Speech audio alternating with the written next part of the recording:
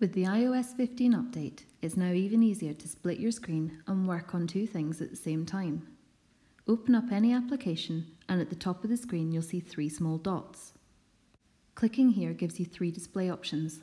The first is full screen, which is the default setting for opening up any application. The second lets you split your screen. One screen slides to the left and then you can choose another application to open and the two will appear side by side. Dragging the grey bar in the centre allows you to change the size of the display.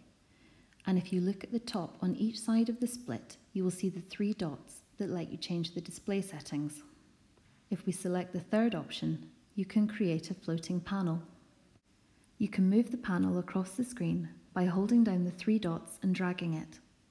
Tapping the three dots and selecting the full screen display will bring you back to showing one screen again.